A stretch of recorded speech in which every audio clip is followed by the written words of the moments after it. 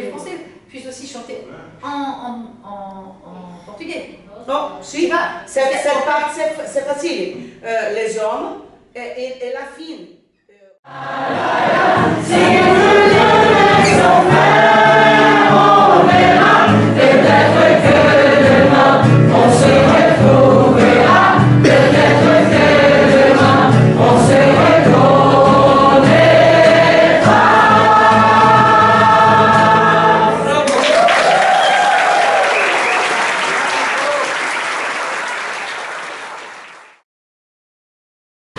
Il y a un an, on a rencontré euh, Monica Marcella, qui est musicienne et qui a une petite école de musique, euh, une Camerati.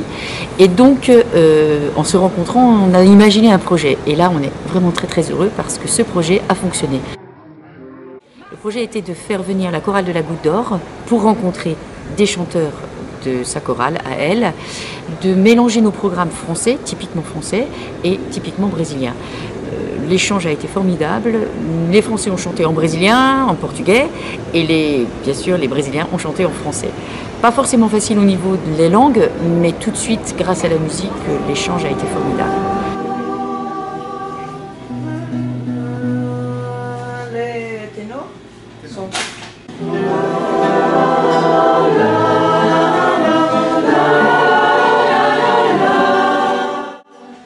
à chaque fois qu'on fait un, projet comme ça, c'est toujours euh, une aventure parce qu'on ne sait absolument pas comment ça va, ça, va fonctionner.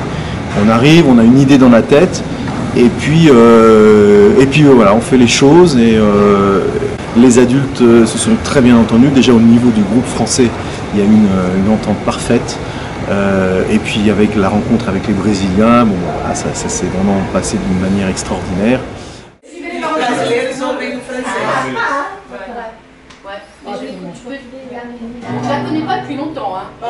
Louise d'apprendre. aujourd'hui, la première fois. Donc après, vous êtes Ah, a. Alors, j'ai accepté de participer à ce projet parce que j'avais déjà vécu deux projets avec Louise et Patrick Marty.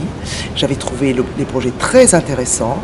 Euh, le, le but et les, et les principes qui tournent autour de ce projet m'intéressent fortement dans le sens où euh, il y a vraiment une envie de, je dirais, d'aller chanter avec les autres, d'aider quelqu'un.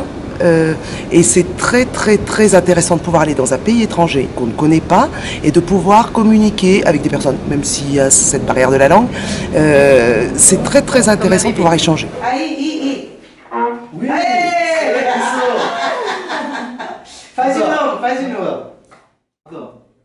Alors donc, euh, quand on fait un, un projet comme ça avec euh, des adultes, euh, l'idée c'est euh, pour que la rencontre fonctionne parfaitement, euh, c'est de partir vivre ensemble quelque part.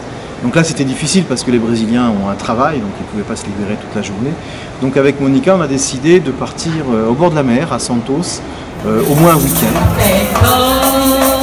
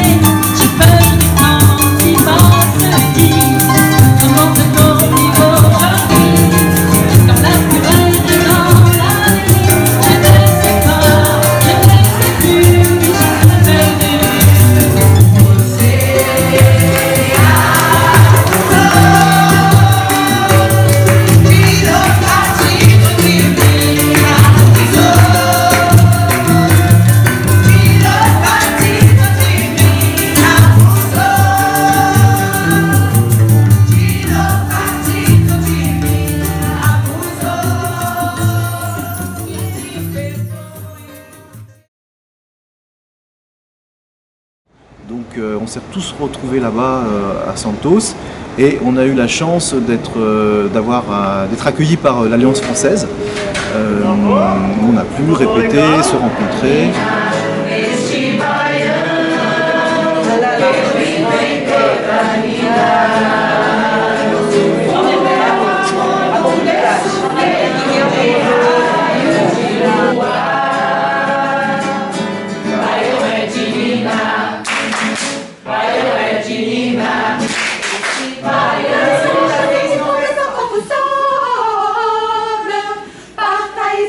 Génial, super. Aki, exactement la même chose.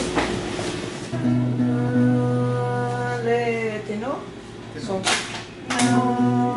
et, euh, et organiser un concert à la Pinacothèque de Santos, où là ça a été un moment euh, assez extraordinaire puisque on a vu l'accueil du public euh, auquel on ne s'attendait pas, et un accueil euh, avec beaucoup d'enthousiasme et beaucoup d'émotion, on a vu des gens pleurer.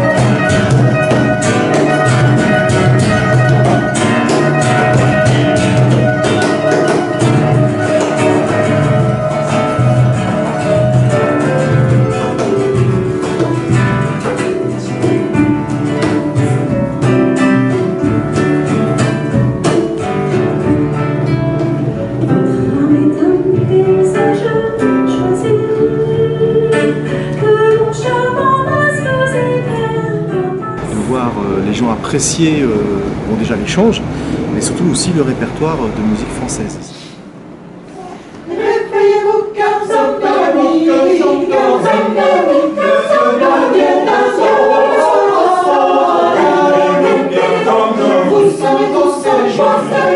Un ensemble d'œuvres bien différentes, puisqu'il y a eu Les Oiseaux de Clément Channequin, il y a eu le, Cantique de Racine de Gabriel Fauré, Puis